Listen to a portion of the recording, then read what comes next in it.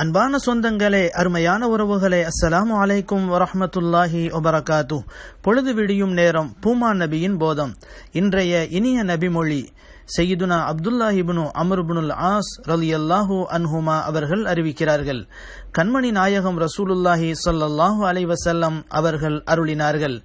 தான் யாருக்கு உணவளிக்க வேண்டிய கடமை இருக்கிறதோ அவர்களுக்கு சரியான முறையில் செலவழிக்காமல் உணவளிக்காமல் இருப்பதே மனிதனுக்கு அவன் பாவம் செய்தவன் என்பதற்கு போதுமான காரணமாகும் என்று கண்மணி நாயகம் ரசூலுல்லாஹி சல்லாஹூ அலைவசல்லம் அவர்கள் அருளினார்கள். ஆதாரம் அபூதா தாவூத் ஆயிரத்து அறுநூற்று தொன்னூற்றி இரண்டு.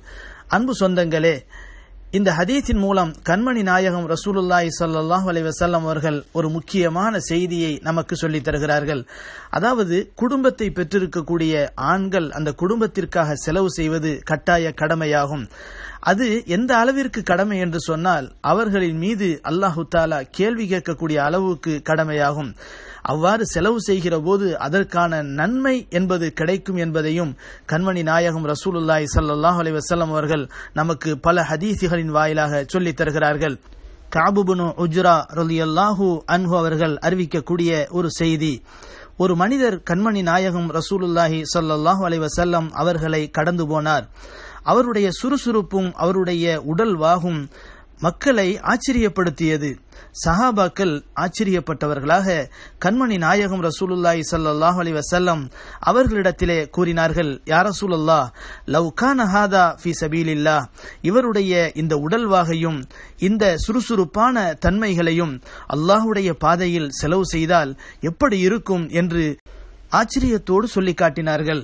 அப்போது கண்மணி நாயகம் ரசூலுல்லாஹி சல்லாஹூ அலைவசல்லம் அவர்கள் அருளினார்கள் இன்கான ஹரஜ எஸ் ஆ அலா உல்திஹி சிகாரன். இவர் தம்முடைய சிறிய பிள்ளைகளை பாதுகாப்பதற்காக காப்பாற்றுவதற்காக இவ்வாறு உழைப்பதற்கு செல்வாரேயானால் ஃபஹுவ ஃபி சபீலில்லா அவரும் அல்லாஹுடைய பாதையிலே தான் இருக்கிறார். ஒயின்கான ஹரஜ எஸ் ஆ அல அபவைஹி ஷெய்ஹைனி கபீரைனி தன்னுடைய வயது முதிர்ந்த பெற்றோர்களை காப்பாற்று காப்பாற்றுவதற்காக இவ்வாறு உழைப்பதற்காக சென்றாலேயானால் அதுவும் அல்லாஹுடைய பாதைதான்.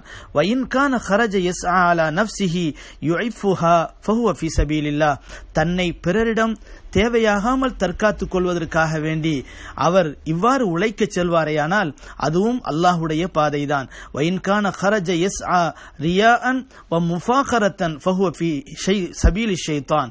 மேலும் இவர் தன்னை அடுத்தவர்களிடத்திலே பெருமையாக காட்ட வேண்டும்.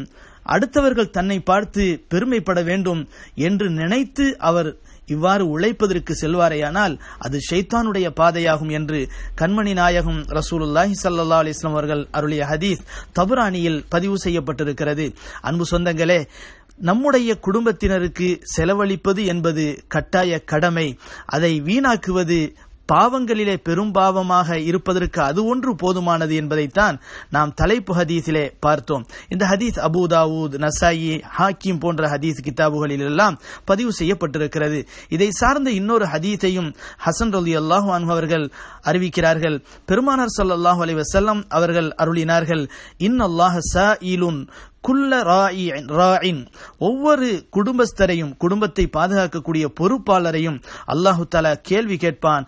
அம்மஸ்தராஹு ஹஃபில அம் தைய ஹத்தா எஸ் அலர் ரஜுல அன் அஹ்லி பைத்திஹி. அவர் அந்த குடும்பத்தை எவ்வாறு பாதுகாத்தார் அல்லது அதனுடைய கடமையை வீணாக்கி விட்டாரா என்பதை பற்றி அவரிடத்தில் நாளை மறுமையில் கேள்வி கேட்கப்படும் என்பதாக கண்மணி நாயகம் ரசூலுல்லாஹி சல்லாஹ் அலைவசல்லம் அவர்கள் அருளினார்கள். ஆக இன்றைக்கு இருக்கக்கூடிய சில மனிதர்கள் தம்முடைய குடும்பத்தாரை கவனிக்கவில்லை என்பது மட்டுமல்ல அந்த மனைவியை வேலை செய்ய வைத்து அவர்களிடமிருந்து தேவையாகி அதிலிருந்து சாப்பிட்டுக் கொண்டிருக்கக்கூடிய மோசமான ஆண் என்று சொல்வதற்கே தகுதியற்ற மனிதர்களும் சமுதாயத்திலே இருப்பதை பார்க்கும்போது மிகவும் வேதனையாக இருக்கிறது. எல்லாம் வல்ல அல்லாஹ் அவன் இட்ட கட்டளைகளை கடமைகளை சரியாக நிறைவேற்றக்கூடிய நர்பாக்கியத்தை நம் அனைவருக்கும் தந்து அருள் புரிவானாக அஸ்ஸலாமு அலைக்கும் வரஹமத்துல்லாஹி ஒபரகாத்து